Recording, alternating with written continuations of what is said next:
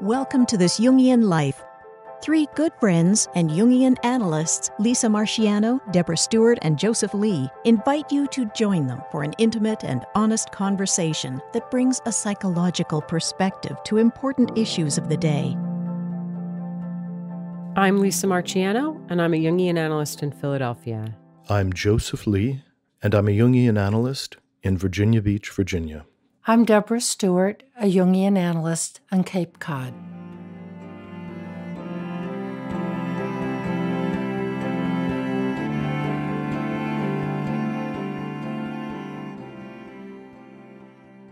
Hello, listeners. This week, you've just got me and Deb because uh, Joseph is not feeling well. I think he has the flu. So he's fine, but he's just taking the day off. We told him to stay in bed. Um, so hopefully Deb and I are, are gonna do a good enough job today. We wanted to talk about fame. I mean, I've I've been really interested in this subject. It uh, I think deserves a psychological take on it. Obviously, fame has always been with us as long as there's been culture. There have been, you know, celebrities, and uh, what what can we what can we learn about uh, the the nature of the psyche through looking at fame and the dynamics around fame. So we're gonna we're gonna take a crack at it. And you know, in a way, uh, the antidote uh, to fame, which has to do with the outer world, is your inner world. And you know where I'm going, which is toward Dream School. Uh, there is no better way to get in touch with what is going on in your inner world than by looking at and learning how to understand a little better your dreams. We dream every single night, so there it is available, uh, a way to access your inner world. So, um, if you're listening to our podcast and like what we do, and you know we analyze a dream every week, hop on over to our website, thisjungianlife.com and take a look. Just take a look at Dream School. So, as I said in the introduction, you know, fame has always been with us. There were famous people in the ancient world. There were kings and heroes and military commanders and poets and playwrights that were famous. And uh, of course, you know, there have been famous people throughout history these days, uh, I think social media has kind of even brought uh, a new level to this in some way because now you can pursue fame sort of on the basis of just being famous. There's that phenomenon of people who are famous for being famous. Um, and uh, so, how do we understand this? What do we? How do we understand? What do we think about this psychologically? It's a really interesting phenomenon, and I can't help but contrast uh, ancient days and the fame that military commanders and playwrights and philosophers achieved for what they did in the world. Uh, with today's obsession uh, with celebrity, and that what we value are are sports stars, and of course they are doing things in in the world, whether whatever sport it is that they're terrifically good at, uh, entertainers, mm-hmm. you know, and of course those are people with tremendous uh, talents, but it's a very different um, place where we put value mm-hmm. uh, from military commanders, philosophers, political leaders, and kings. Uh, something has really shifted. I, I, I, I mean, I, you know, obviously there are still famous, uh, um, you know, political leaders. Political leaders tend to be famous. Um, I, I'm, I think that entertainers are a special breed, and that in some way they're kind of like our shamans. So I think a really hmm. talented entertainer um, is is is not. I'm not ready to kind of put that on a different level. I think someone who's brilliant at writing songs or performing or a, brilliant actor, uh, you know, deserves our admiration. Mm-hmm. Uh, and perhaps perhaps what's shifted is we are less likely to uh, admire military heroes, and maybe that's not a bad thing. So I, I don't know. I mean, but but what is true is that we seem to have a need to venerate people. Mm-hmm. I, am going back uh, to a little bit of a difference of opinion that we may have about this, okay. which is it seems to me that today's celebrity world, uh, and it's not that I would devalue people with a talent for performing or sports, but uh, it's younger people, uh, people who are glamorous, people who are beautiful, mm-hmm. people, there's a lot of novelty, mm-hmm. um, a, a tremendous obsession, it seems to me, with image of how you look mm-hmm. and how you how you present yourself.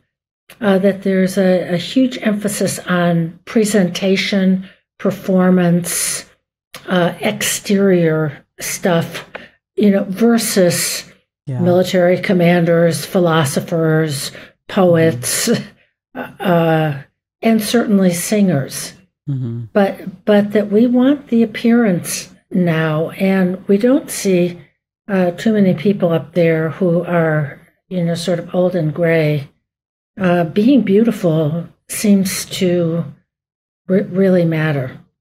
Well, I, you know what what might be different because I'm I'm I'm just off of rereading the story of Eros and Psyche.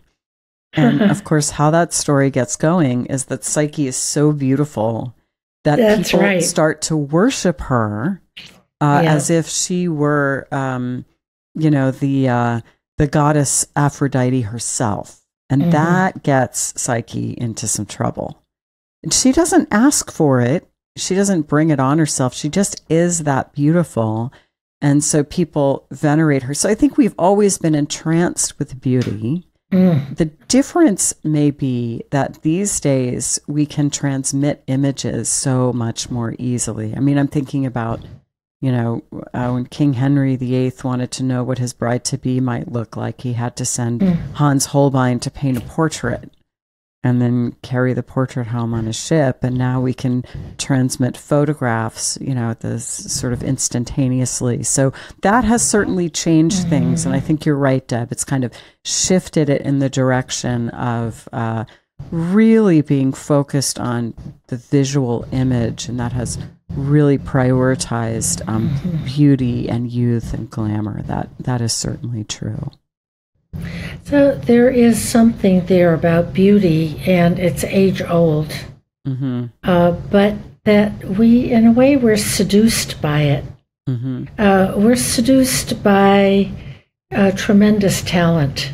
Mm-hmm. Uh, for people that can perform, people that can sing, and and the story of uh, Psyche and Eros I mean, that was what she was famous for. She yeah, was simply yes. so beautiful mm-hmm. uh, that there is something in us that responds uh, to that to that kind of thing. Mm-hmm. Well, eh. again, I, I think I think there's a way we want to venerate someone. We want to admire someone who has almost superhuman beauty or superhuman talent and and when you see someone do something and they're so good at it, whether or not it's um, yeah. you know a sports a sports figure or uh, you know someone who's um, playing music or you know they're such a virtuoso or they're so creative, something lights up in us and and we we we just mm. we we mm. want to love that person. We want to shower them with admiration. That there's something human about that. You know, that makes me think about Jung, who wrote about the mana personality. Mm-hmm. Uh, the person who is larger than life, the person, uh, today we would say, uh, who has charisma. Mm-hmm. Um, back in the days of, of heroes, uh, those were mana personalities. Mm-hmm. Uh, Theseus could go to Crete, and uh, Ariadne fell in love with him as soon as she saw him, right. and he knew that he was the one who could slay the Minotaur. Mm-hmm. Of, of that there is something where we project what can a human being be can can we be more than our ordinary limited selves? And we see that in in heroes and in people with special with special talent, and we tend to venerate them um, as heroes or even sort of godlike beings. And I'm thinking of some of the uh, concerts where people just pay incredible amounts of money to go. And mm-hmm. Mm-hmm. this will really date me, but I remember Elvis Presley.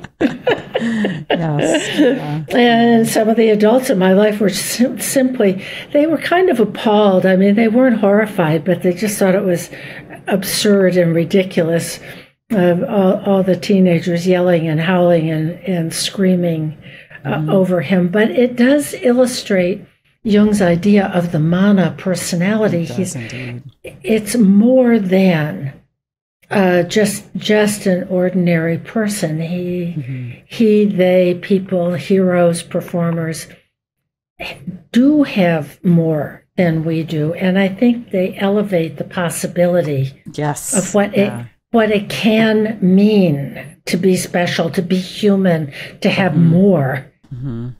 Um, and that we project that on onto performers. Yeah, I mean, I, I think there's a couple there's a couple things here. First of all, you know, following up on what you're saying, I think one of the positive roles that this can play, this kind of ad, adulation, mm.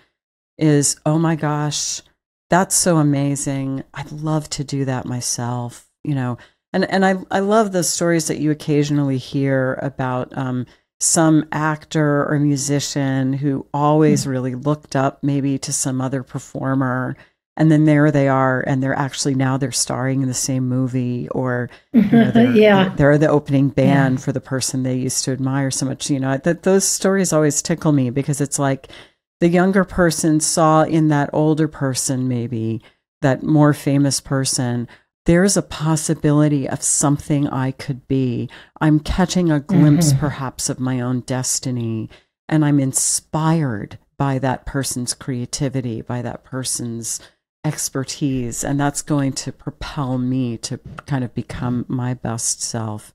But but I think there's also something else here which is when we see fame, it has a kind of larger than life quality to it. A- absolutely. And it, it, it is, it is um, our attempt at being something like godlike. It is, it is our attempt to touch immortality. You know who was very um, bold and honest about this actually was the Renaissance Italian poet Petrarch. Petrarch hmm. fancied himself uh, you know, like the poets of the ancient world, and he it was very important to him to be um, to be per- depicted wearing a crown of laurels mm. and to reach. I mean, I mean, being famous was a way of uh, kind of becoming immortal. Um, it was the closest thing. I mean, probably still is the closest thing to kind of becoming in a god. You know, you're sort of achieving an apotheosis when you your name is a household word and you're to your memory will outlive you and maybe your works will outlive you and and so i, I think there's that we're we're in this realm of of um godlikeness another way to think of that is inflation a- absolutely and and it does and it can uh, take over uh, that people and i think we know you know, from stories of of certain performers of the identification uh, with the image that's that's on the mm-hmm. screen. Mm-hmm. But you know, I'm going back to the adulation and the inspiration. Yeah, that that people who are mega talented and they're larger than life afford us, and I wonder if it gives us a glimpse of what uh, individuation can look like. Mm, oh, that's lovely. Yeah, yeah. You know that that it can be really great. Um, that we can be more. Yeah. Uh, than than our ordinary selves, and we and we catch some of that uh, when we are inspired. Yeah, yeah. Uh, b- by someone, and then and then there's always the fear that they're going to disappoint you and mm. show that they're mere mortals. So I, I'm thinking, you know, some people that I really admire. I think they're incredibly talented. I think they also are incredibly. Um, they have all this integrity, and I, I can just imagine how disappointed I would be if I, you know, woke up and read a headline that the, the person was found doing something really uh, you know, debased or something. It would be, I think you're exactly right, Deb. I really like that, that we see like, like what the potential, what we could be. Yeah. And, and it's so complicated because we desperately want that. We, we want to be able to model ourselves after someone who's more individuated, who's more actualized. And that's why it's, mm-hmm. it can be so crushing when our, when our heroes, you know, reveal themselves to have, you know, feet of clay. Mm-hmm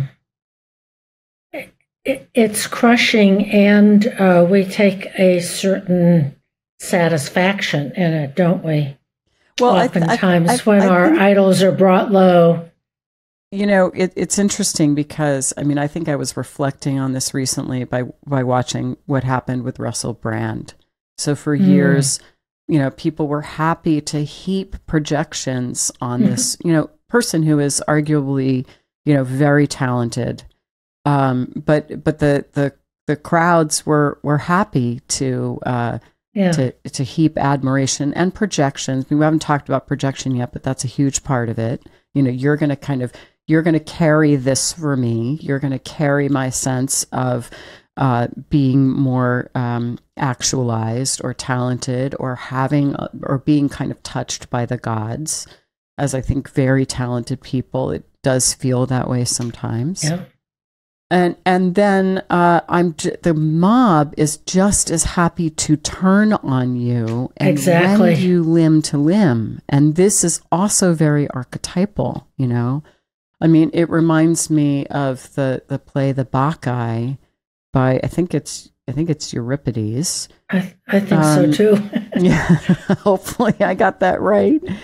Where you know Dionysus kind of bespells the women uh, to to mm-hmm. participate in these rites out in the woods, and they they're they're mad with uh, kind of Dionysian, you know, just uh, energy, and they they rend Pentheus limb to limb, including his own mother, because she doesn't know what she's doing, and and in some sense, I think there is a there is a kind of mob psychology that's involved with fame. I mean, Deb, you referenced it with uh, talking about Elvis. I mean, some of it is this kind of contagion mm-hmm. effect where where you know the, the, whole the whole groups of people are are en masse projecting something onto an individual, but that because it's a because it's a mass of people, a mob you know, Jung was very distrustful of mob psychology.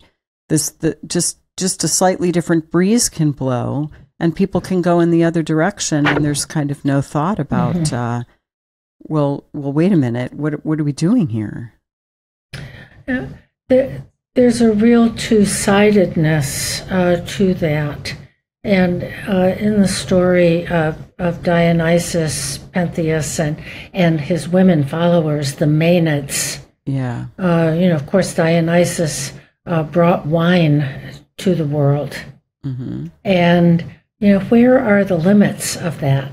Yeah. Of uh, uh, where is that kind of holiday uh, drinking festival in the woods?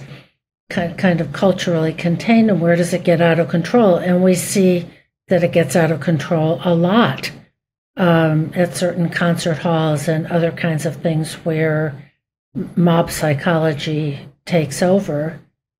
Uh, and that we can be inspired and uh, mm-hmm. adulate uh, some kind of a figure. And then when that figure is brought low, you know, and you use the example of, of Russell Brand, of that there is a certain kind of Schadenfreude yeah. or or envy that is yeah. like there's a certain satisfaction in it. Yep. Uh, like the people at the Dionysian festival, mm-hmm. um, who who could tear uh, who could tear the king apart. Mm-hmm. Mm-hmm. And so I think we have to be a little careful, a little, maybe even a little skeptical about what is it that we're worshiping Yeah, yeah. and, and what is it that we're projecting uh, that you you just Yes. brought that in what do we project onto uh, some of our some of our stars Uh, yeah, well, let, let's talk about projection. Before we do, I want to say one more thing. Maybe, maybe the truth is that you know, when when one is famous, one steps into a current that one cannot control. mhm. and uh, you know i think that that's y- you know that that is these stories of someone um, kind of being laid low stepping stepping in it disappointing people having Mhm. the crowd turn on them. I mean that is uh, that is an age old story.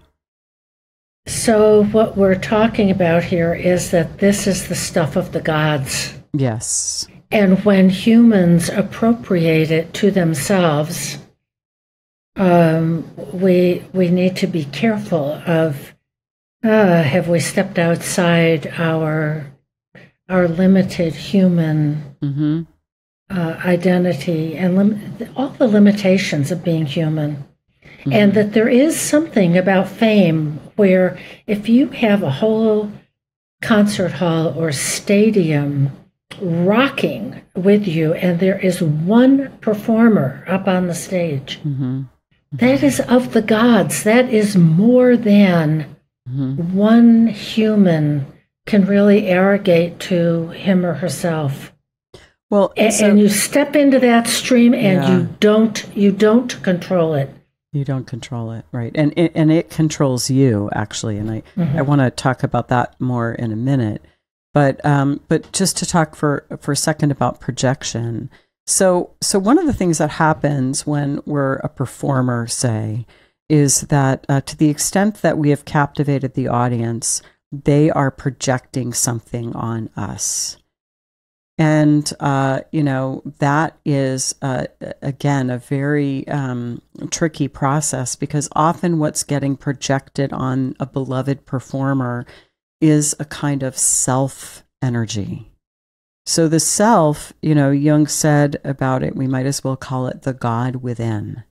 And when we fall in love with a performer or some other public figure, uh, a politician, whoever it is, we're projecting part of the self onto that Mm. person. And that is some heady stuff. I mean, this can happen in the analytic dyad. Often it does. It's actually part of the curative factor that the the an, analysand can project the self onto the analyst.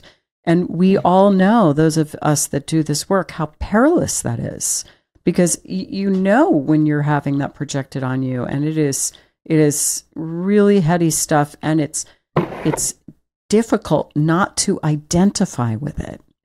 You know you've got someone who really admires you who's sort of looking at you and you know that they think you're just brilliant and you can fix anything and it's it's a temptation to identify with that. And if you do you're you're going to slip and fall um, but of course, you know, we know in our work that we have to be able to hold that very gently and tenderly until the patient's ready to take back the projection.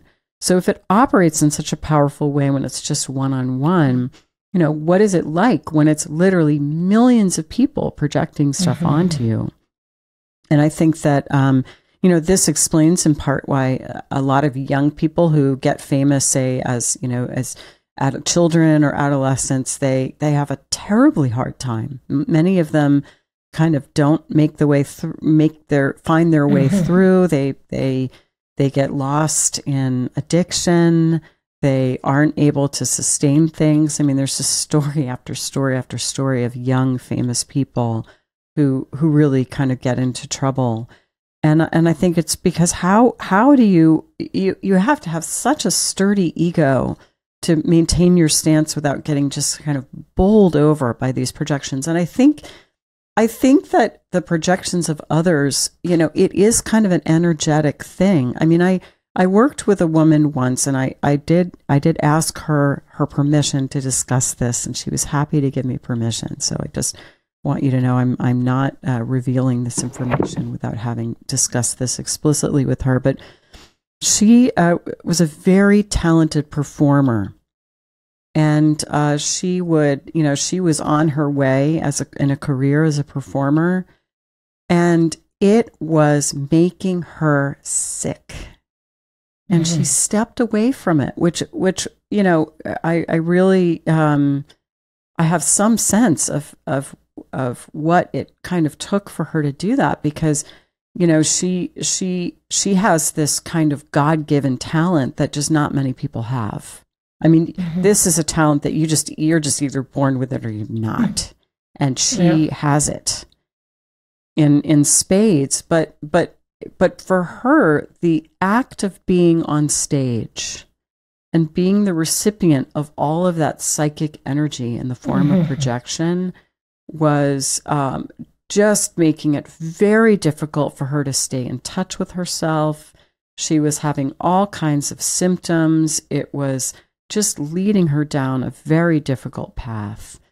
And uh, so she made the, I think, very wise decision to step away from it. And now she she does the thing that she can mm-hmm. do so well. You know, um, in ways that that bring her pleasure but don't expose her to this incredibly kind of intoxicating mm-hmm. uh, experience of having this all projected on you. Yeah. Uh, it takes me to what Jung says uh, over and over again, which is psychic energy is real. Uh, it is contagious, it's powerful, um, and it, it's a huge burden. And I'm thinking yep. about about performers that have suffered mm-hmm. uh, for, with their uh, celebrity status. It's just really difficult because then they start to identify, I think, uh, with the, uh, that that figure up on the screen or up on the stage is who who yeah. I am. Yes. Uh, the the larger than life. Uh, I don't have to play by the usual rules. Mm-hmm. Uh, you do need a very sturdy ego and a sense of self, and that's hard one for anyone. But I'm thinking of here's my little list of uh, Marilyn Monroe, mm-hmm. Elvis Presley, Michael Jackson, mm-hmm. uh, Judy Garland, mm-hmm. Jim Morrison, Janis Joplin, John Belushi, mm-hmm. uh, River Phoenix. Uh, that uh, and there's a statistic that celebrities have a suicide rate that's almost four times larger uh, Robin than Williams. In, yeah, so there's there's a cost mm-hmm. uh, to taking on these godlike yeah. attributes.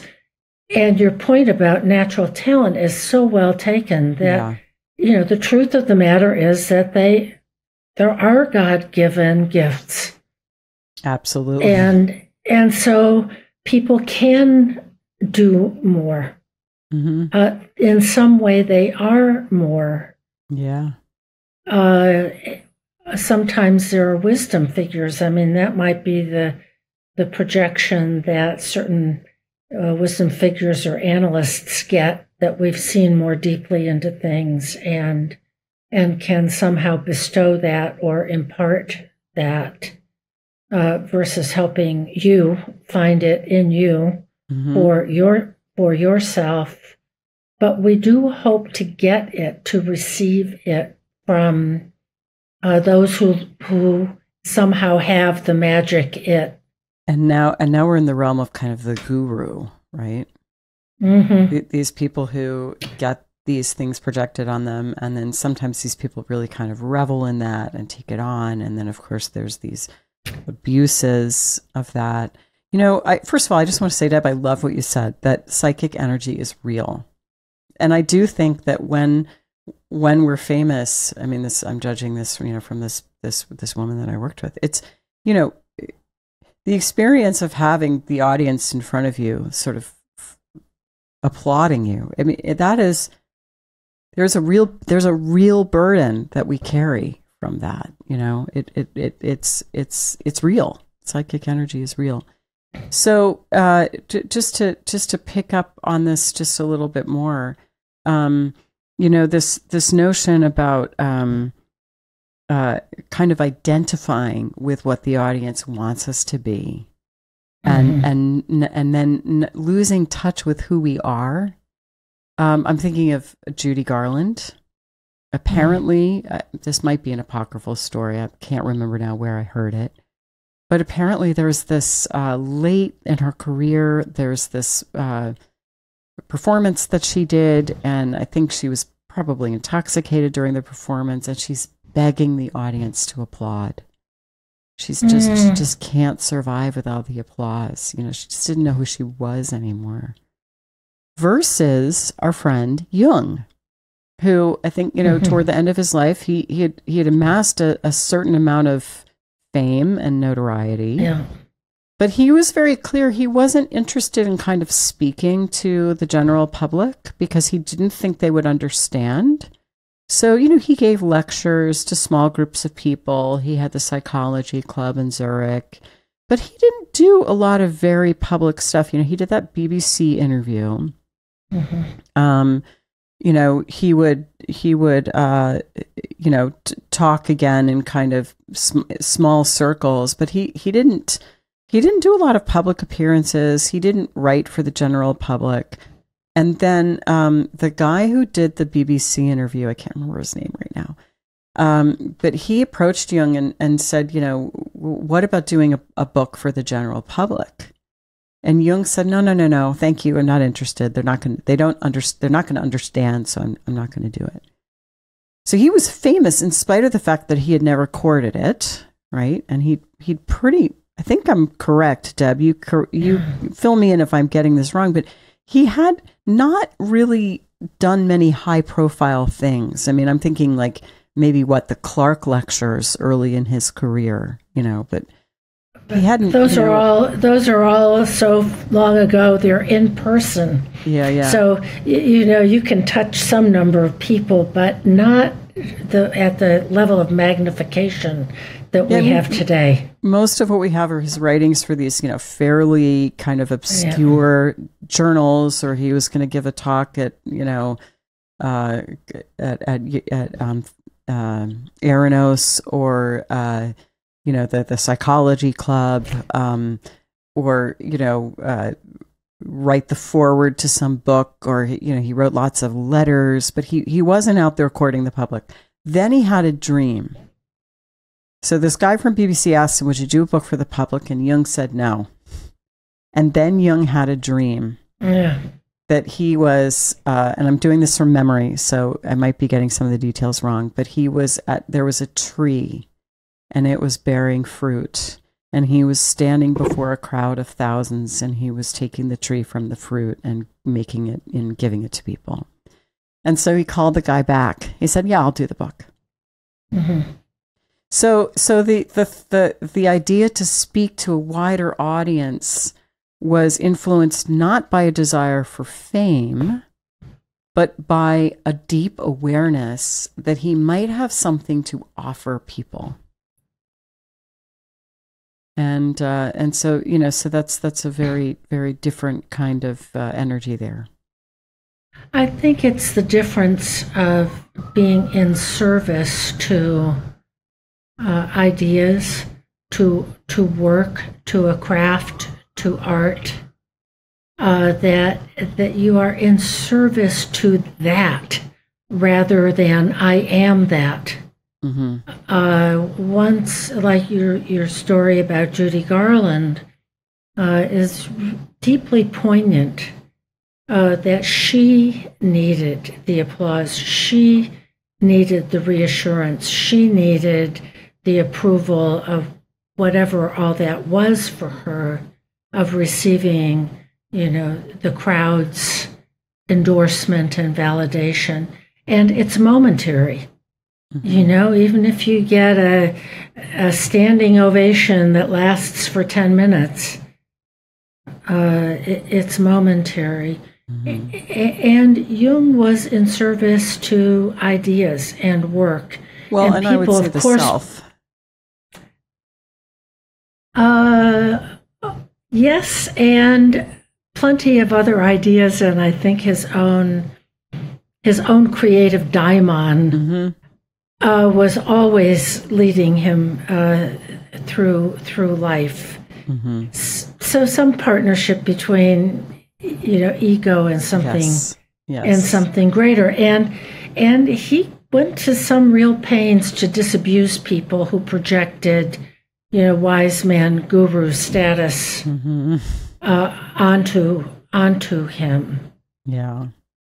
Yeah. uh, and, and I think you know I'm going back to Judy Garland of that that there are people and where the danger is is that rather than achieving your own sense of self and uh, uh, offering your work or your talent, uh, that then you really need the the fame, the applause, the validation, the lifestyle, the whatever it is, um, to augment uh, a sense of self that is essentially, you know, not sufficiently sturdy, stable, and and whole. Mm-hmm. Mm-hmm. And and I think we see this today on all the social media stuff of people who want to to quote go viral unquote Right. uh, Right. uh, that other people seeing them and validating them contributes to a sense of self. Mm-hmm. Mm-hmm. Yeah. And I, I want to I want to go there in a minute, but just staying with this idea that you just raised about the daimon. You know, um, uh, Hillman talks about this beautifully in the Soul's Code, which is the sense, you know, some people just sort of maybe have a destiny. So it's mentioning my, the person that I worked with who just had this, you know, just incredible talent. You know, if we if we take a look at someone like uh, Taylor Swift, now I'm not an aficionado on her work, but I, I do know a couple of songs, and I, you know, I think she's really quite talented. I think she writes really great songs. I think she's got a great voice. As far as I can tell, she's a wonderful entertainer, right? So she's, you know, she's sort of, she's kind of got the whole package. It's not, you know, you can't, you can't look at her and say that her fame is uh, undeserved. You know, she's, she's really very talented. So I, I can imagine what Hillman might say about her is that this is her destiny. It is her destiny to be an entertainer. It is her destiny to be a musician. She is living out her destiny, and part fame is fame is almost like a byproduct of of, of following her her daimon. F- Fame is Mhm. is it just kind of comes with a package, and and I think that that that that is that is true for for certain people that this is this is just kind of what they were Mhm. destined to do. And I guess part of what they then have to do is figure out how to carry the burden of fame, knowing, of course, that they're always running the risk of being, you know, um, finding themselves on the other side of it with someone kind of eager to to to tear them apart. You know, and also that one can lose one's footing because you know remember when the beatles said something like we're we're more famous than god do i have that quote right one of Mm. them said that i think i think that's a quote we're more famous than god and you know arguably maybe they were but but that you know the, the sort of inflation that comes with that and then how that can uh, help you know cause us to lose our way psycho spiritually you know in in rome the the coronation of the emperor the emperor would Mm. uh, ride through Rome to throngs of cheering crowds, you know, dressed in imperial purple. And the story Mhm. is that there would be a slave standing in the chariot next to him, whispering in his ear, Remember, you are mortal. You know, it's like you, you've got to remember that you're just an average person, no matter what is getting projected on you, no matter how much power the world has given you Mhm. you know you are just ordinary and how do we how do we remember that when we're being swept along uh so um I, I think that you know if it's our destiny to be famous and i think for some of us it is not not Yeah. myself but uh someone like taylor swift um you know how do we how do we hold on to ourselves it's it's almost a something like a practice i imagine I'm thinking so much about uh, what is external and what we can do and get uh, in the external world, and and how precious and central and important and inescapable our inner world is. Mm-hmm. Uh, and uh, some of these uh, stars that I mentioned a little while back, who um, who came to such sad, sad endings, Marilyn Monroe and Elvis Presley and Michael Jackson, for example. Yeah. Um, I, I was a great appreciator of John Belushi. I just loved him on Saturday Night Live. But that for all of us, one way or another, uh, the injunction is to find work and relationships in the world that matter Mm-hmm. and develop our our internal sense of self and that some of these celebrities t- great talents Janis Joplin Mm-hmm.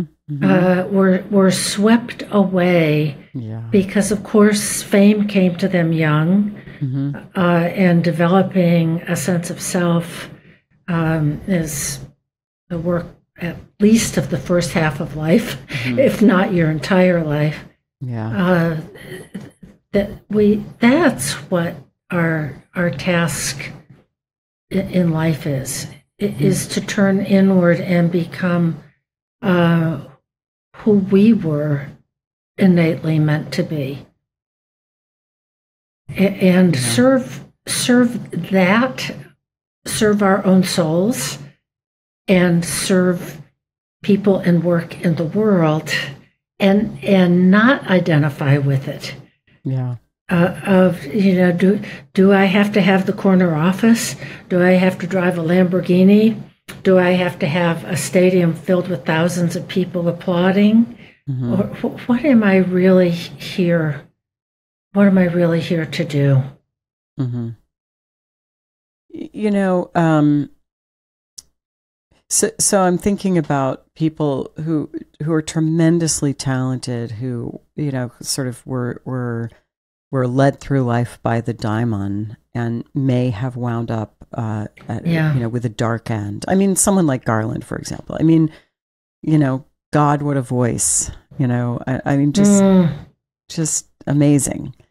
Um, yeah, a huge admirer of hers, you know, but, but, you know, she, she had, and actually she ta- uh, Hillman talks about her in the soul's code, you know, that, that she was just a Mhm. little itty bitty thing.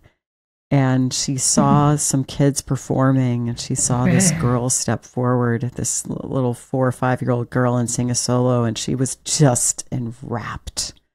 And as soon as it was over, she turned to her father. She said, Can I do that, Daddy? And soon Yeah. after, she did. Um, so you know, this was this was really something she just knew right from the beginning that this Mhm. was gonna this was something she had to do. And then there's this other thing that you, that Deb you've alluded to, and I kept on saying, "Oh, I'm going to get there. I'm going to get there," which is this this sort of internet culture. So people kind of seeking fame almost for its own sake. yes. And I, want to talk about this um, really remarkable essay um, that I uh, have read. Then we'll we'll put it in the show notes. But um, there's a there's a this uh, article that's written by this um, Substack uh, writer that I really really like. the The Substack is by Gurwinder, and the title of this post, and we'll link it in the show notes, is "The Perils of Audience Capture." because again i think we're we're in this realm of projection and how dangerous it can be so um, Gurwinder starts talking about uh, someone, a 24 year old man named Nicholas Perry, who wanted to be big online. So he was um, posting videos of himself playing the violin and talking about veganism. And he wasn't getting any notice. So he started, he gave up being a vegan. He started posting videos of himself eating, just, you know, kind of eating dinner and kind of talking to the audience. And um, people started, people started liking those videos. So then the comments section of the videos were in, encouraging him to uh, eat as much as he physically could. So we started doing that. And the audience applauded, but always demanded more. And so then he was, you know, filming himself uh, eating entire menus of fast food restaurants in one sitting. I'm, so, I'm sort of uh, paraphrasing and reading from um, Gurwinder's post. So I just want to credit that. So, you know, he eventually got over 6 million subscribers on YouTube from, from, you know, eating and he is now fantastically, grotesquely obese. He must weigh, you know, some five or six hundred pounds. Um, and and so I'm, I'm just going to read here from from the Substack. Um, Nikocado, so he's now known as Nikocado Avocado. That's his YouTube name. Nikocado, molded by his audience's desires into a cartoonish extreme, is now a wholly different character from Nicholas Perry the vegan violinist who first started making videos. Where Perry was mild mannered and health conscious, Nikocado is loud, abrasive, and spectacularly mm. grotesque. Where Perry was a picky eater, Nikocado devoured everything he could, including, finally, Perry himself. The rampant appetite for attention caused the person to be subsumed by the persona and and so he he terms this audience capture and i think it's a really interesting uh, phenomenon that that you know i could point to other examples there's a, a an extremely anorexic woman named eugenia cooney i think is her name who who does all of this stuff and is kind of applauded for being just again grotesquely thin. So this is a particular phenomenon of you know tiktok and instagram where where the projections of the the fans, as it were, um, shape and mold and capture and finally destroy the person. Uh, and and I, th- I think it's an extreme example of what can happen in fame in any case, but it's particularly dark. It's particularly dark. And again, you know, if if you're if you're if you're well known because you're in service to something larger than yourself, like mm-hmm. Jung was, I think you're you're on steadier ground. If you're chasing fame and attention for its own sake, it will devour you. The uh, parallel uh, to the the Greek play mm-hmm. about the Maenads and about Dionysus uh, is really powerful and that we've talked about this as uh, this is the stuff of the gods. Yeah. And uh, Dionysus infused his followers uh, with with this frenzy, and uh, you know whether it's uh, uh, fueled by drugs or alcohol or psychic energy. Mm-hmm. that is exactly what happens. Is that we can't get enough of it it's not within ego control. And eventually it can devour people. Uh, followers lose all sense of what a person is like uh, in in the projection of somebody that you know can eat all manner of things mm-hmm. uh, in an astonishing way. Uh, well, the person is not under consideration here. Mm-hmm. There's no relationship. It's just uh, an egging on, a cheering on. Uh, I dare you. I dare you. Uh, and if we take that on, uh, either as a would be celebrity mm-hmm. or as a fan, uh, we are inflated and we are not grounded uh, and it's heady and it can be really destructive and dangerous. Mm-hmm. And you know, I, I think that that is you said something, Deb, that I want to pick up on. That the, you know, the person is not under consideration. There, there is a way that being famous, I imagine, never, never having been famous, nor will I ever be. But, but my imagination is it totally flattens the individual. Yes. You know, you, you, you, if you're really famous, you know, I mean, I don't, I don't follow Taylor Swift, but people in my family will occasionally give me reports. Apparently, it's very Yeah. difficult for her to date, and and of course it is because you know who who who who are you going to date if you're Taylor Swift, and what are those? How do those dates go? I don't know. Uh, gee, how was your day today? I mean, you know, it's it's like who's going to relate to you like you're a normal person? Who's going to just uh, be interested in getting to know you for who you are? Who's Mhm. going to not not you know be be you know nervous, you know when they when they talk to you and and sort of feel like the sun is in their eyes because they're talking to Taylor Swift. Um, I mean, I th- I think it it deprives one of their humanity in a way. To to to be that Yeah. famous.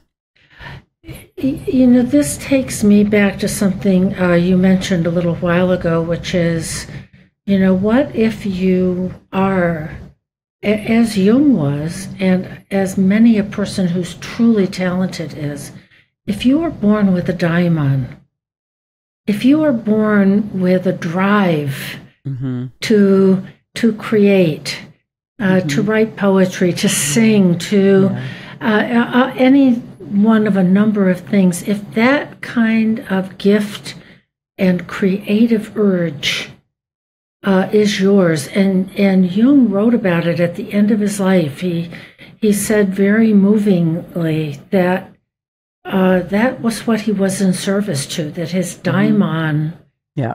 uh, drove him and guided him of h- how you know i'm imagining taylor swift uh, has a daimon Yeah, I would. A- and and and then it is that person's special gift and a burden to to manage that yeah.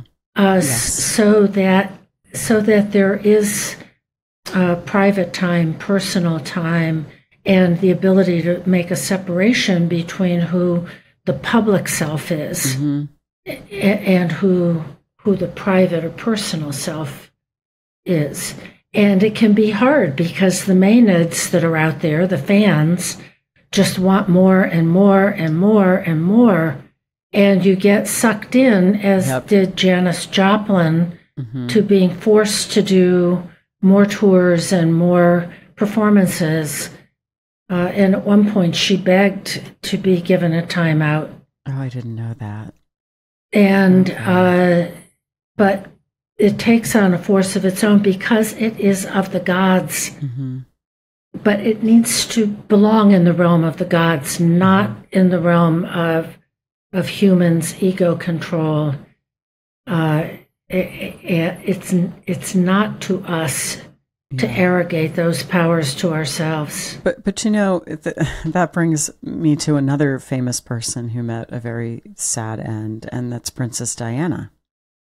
oh because my. you know because uh, because it yes i mean it, i suppose if you're a, a very famous person you need to uh, you know try to make sure that you you have your private life. But we know that that can be very difficult for famous people that they're constantly being hounded by the paparazzi and everywhere they go you know someone's taking a picture of them and if they you know, show up the grocery store, there's someone, you know, reporting on it or something like that. Um, so, so I, I, I think it's, it's, it's really, it's really, it's really difficult. And I, I, I sort of just feel terrible when I see the way celebrities are treated. I'm just not interested in participating it in it at all. So I, I try to kind of avert my eyes. Actually, I don't, I don't really want to know, you know, who, who was seen where with whom. Um, but but you know the the royal family in general and Princess Diana in particular is a good example of that. That they just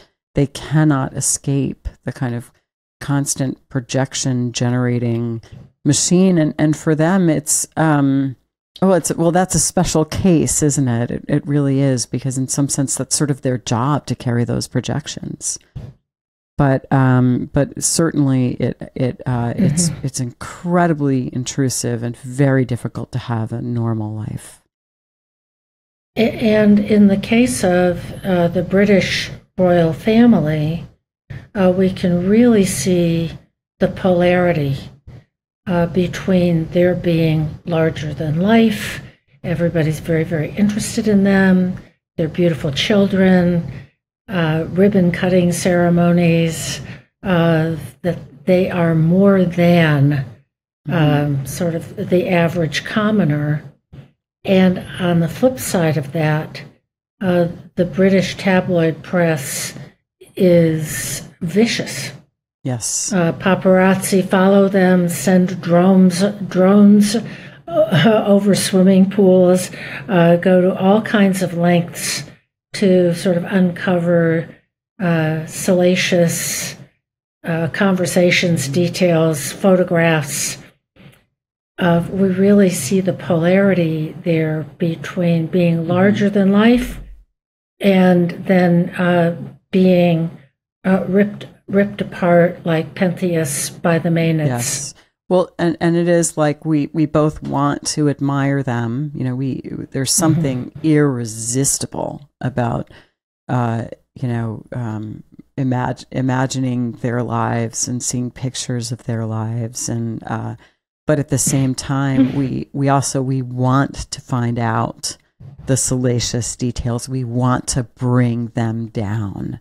So there's there's both. We want to lift them up and we want to bring them down. And I think I think Yeah. any of us can can find both of those impulses within us if we're honest with ourselves.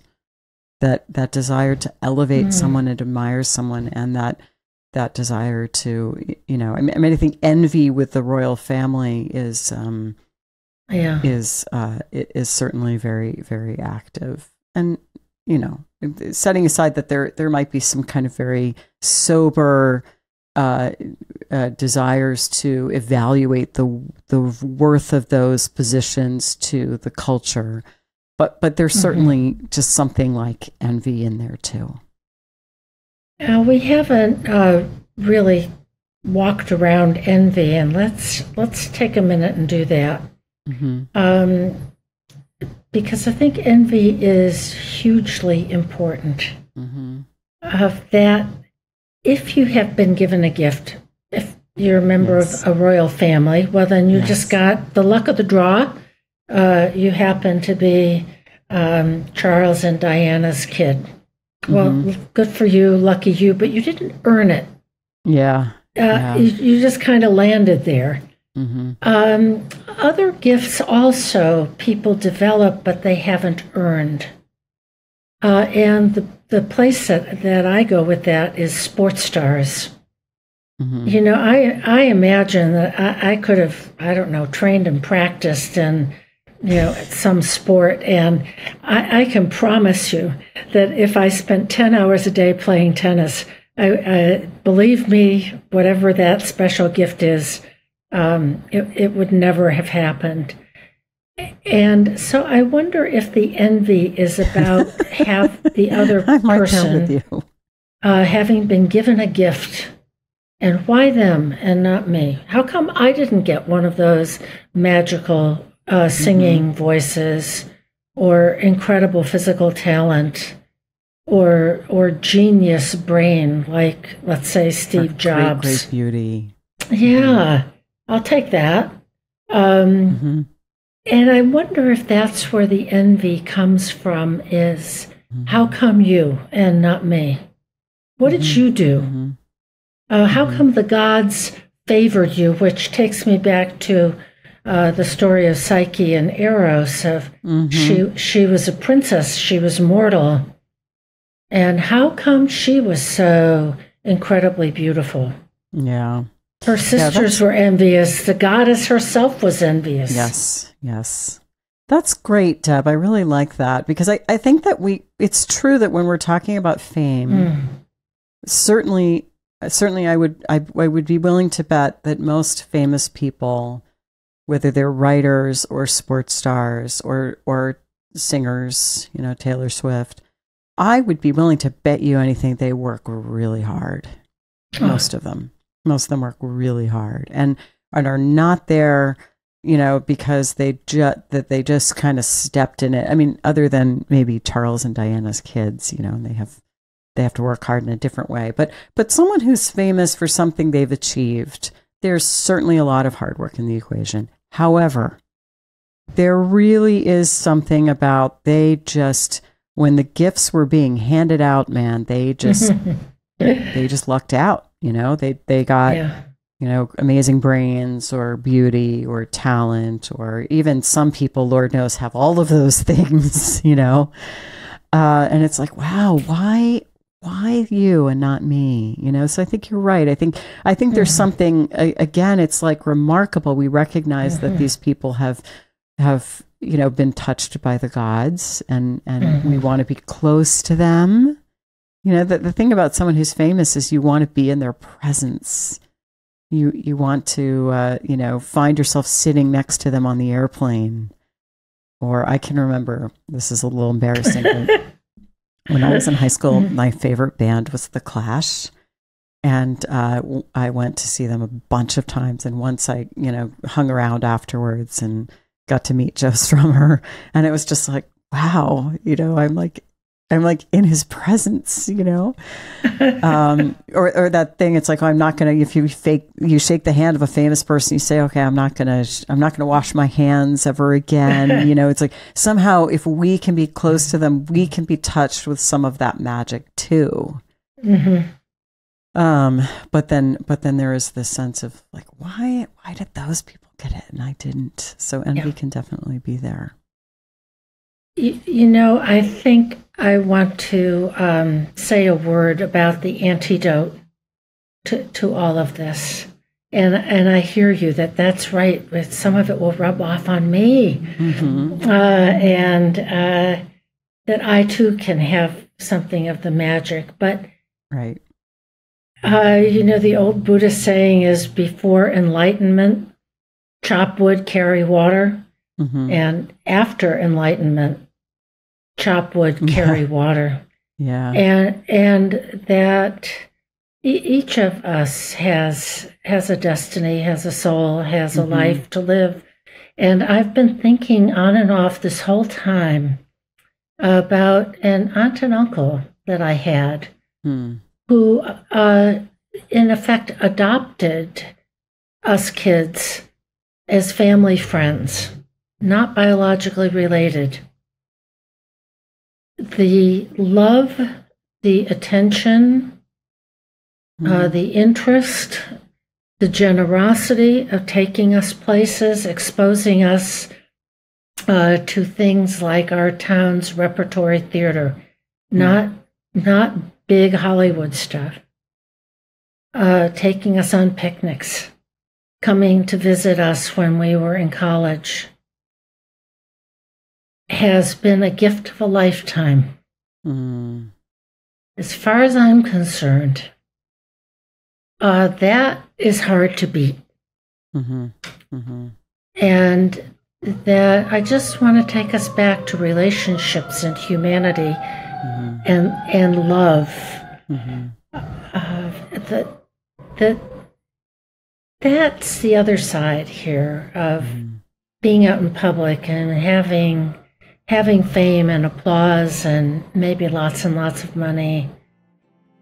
Um, that's not all there is, Yeah. and I and I don't think it is the soul of what we're really here to do. hmm hmm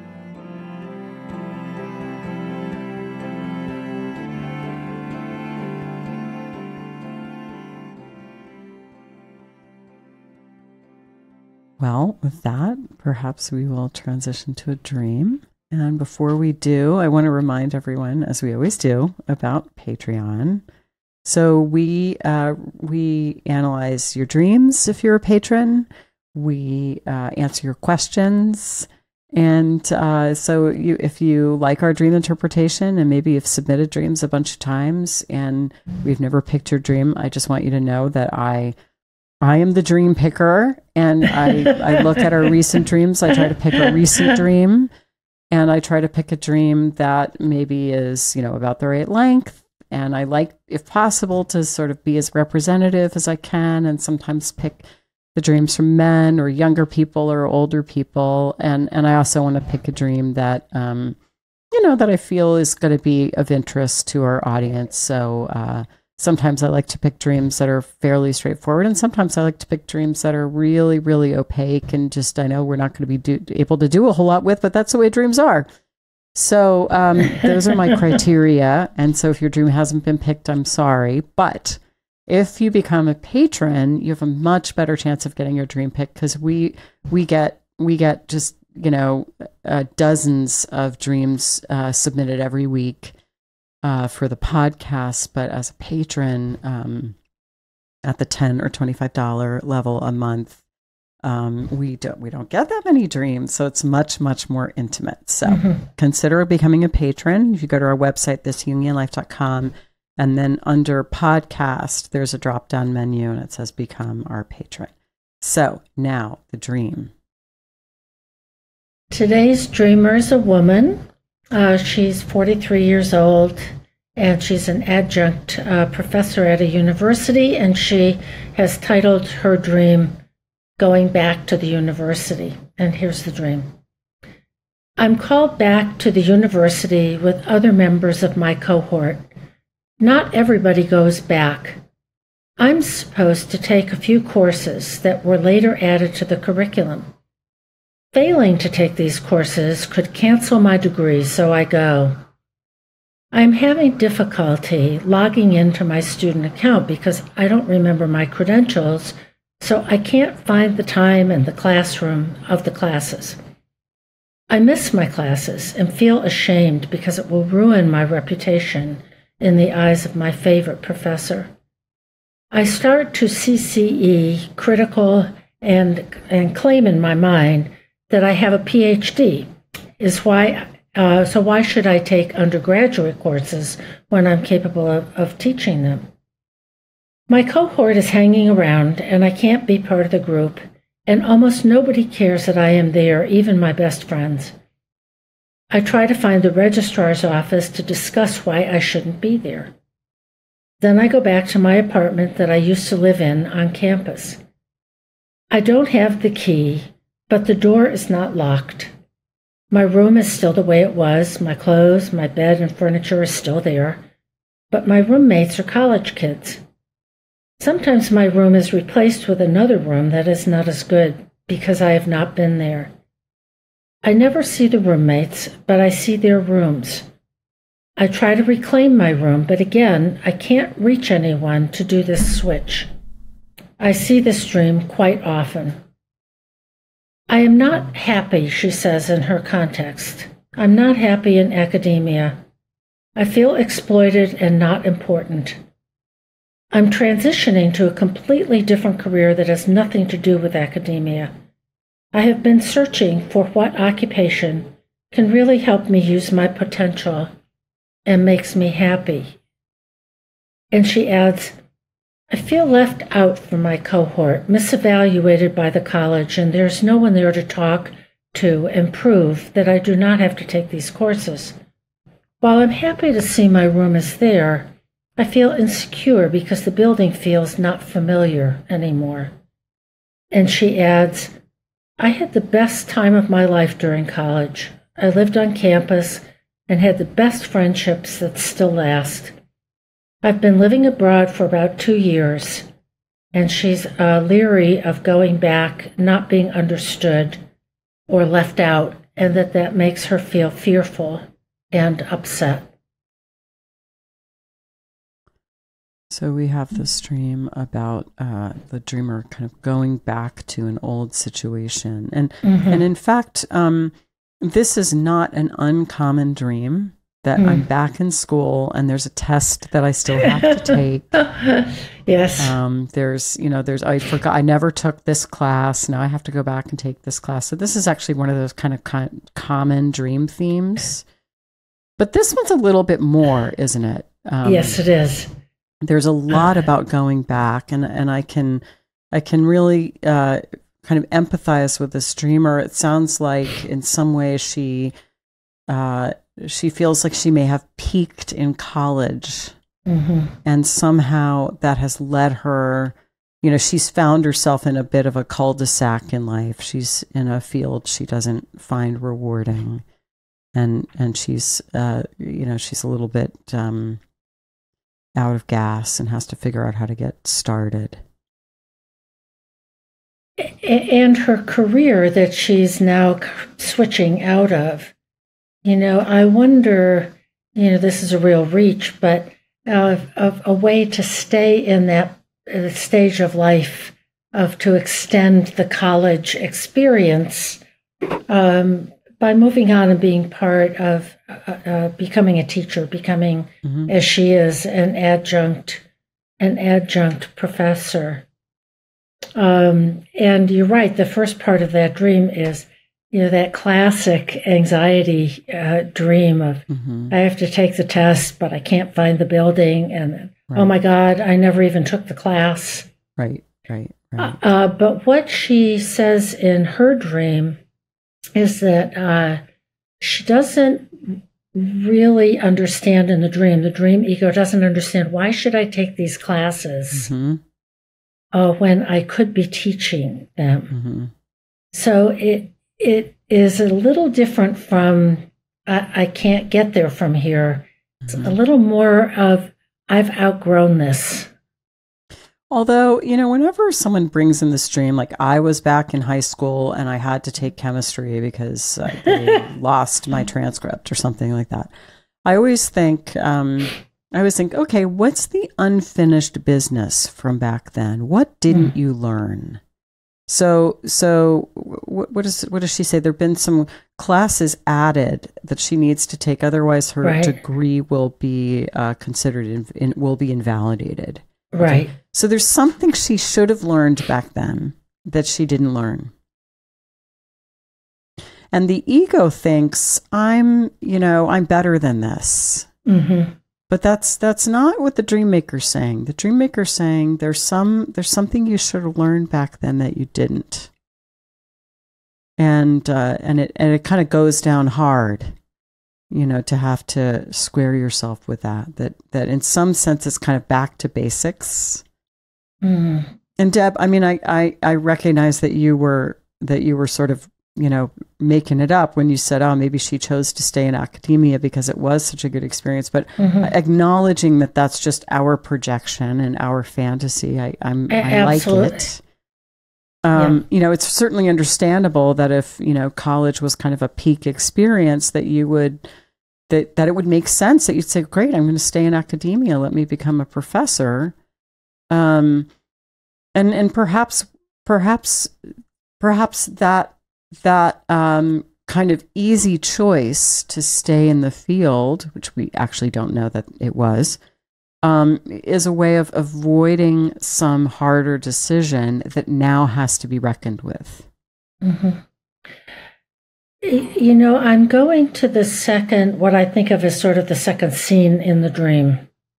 Of uh, first, there's a part about uh, taking these classes.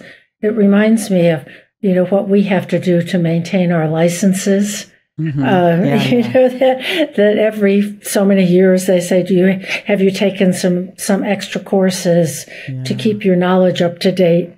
Um, yep, that's and, interesting. Yeah, yeah. okay, uh, but then uh, no one cares that she's there, even her best friends. Uh, she goes to the registrar's office and then scene two is I go back to my apartment that I used to live in. I don't have the key. The door is not locked. Everything is there. Her mm-hmm. clothes, her bed, um, but her roommates are college kids, and I think mm-hmm. that is is significant because that hints at a, a, younger stage and and age mm-hmm. of that they are college kids and uh, she is still in a dorm room, mm-hmm. but mm-hmm. but aware aware of the difference between her and and her new uh, roommates. So uh, and then at the oh, go ahead. Go ahead. No, go, you go ahead. Uh, but then at the end, uh, I think she's referencing other dreams.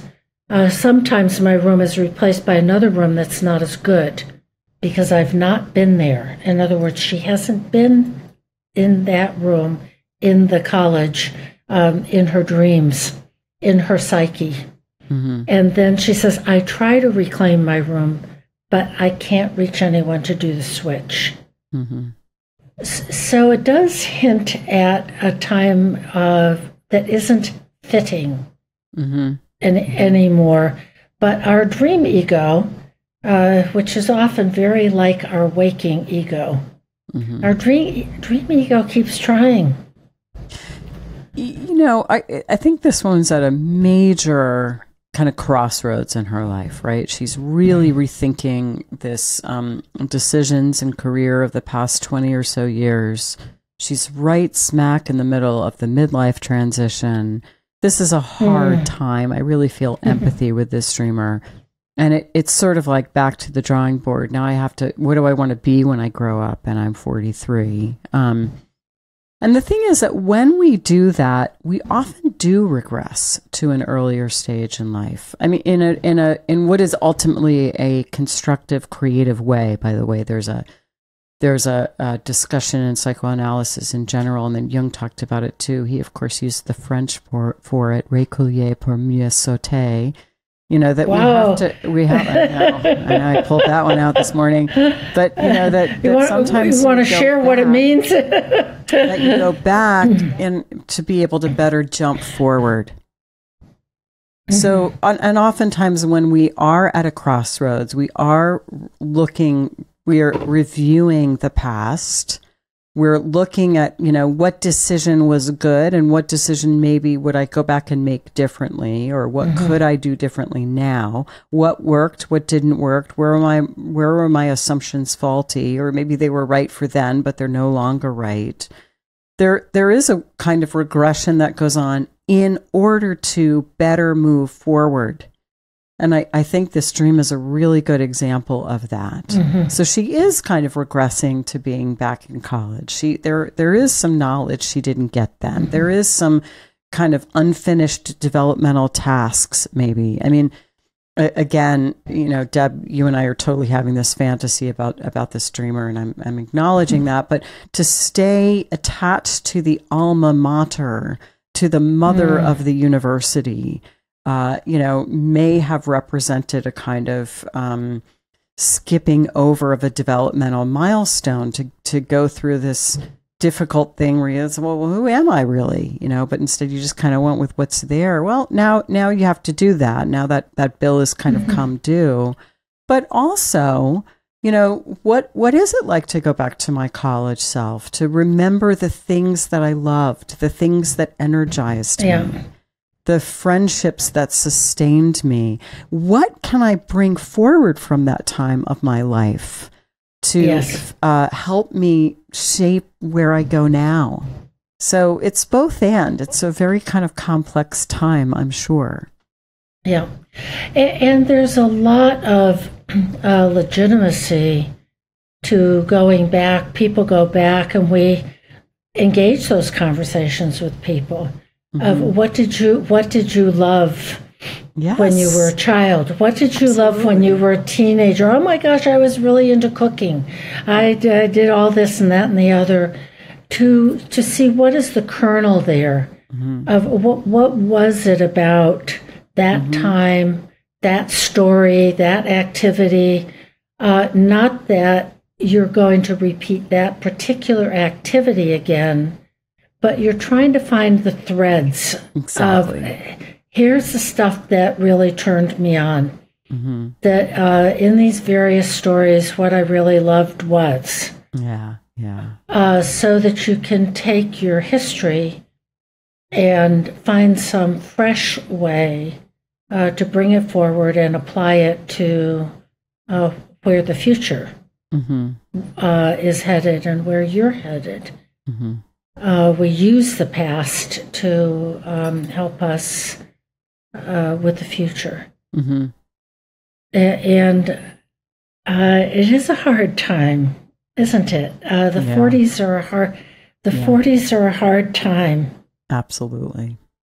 Uh, so we we yeah. certainly wish this mm. dreamer mm. all the best. Absolutely.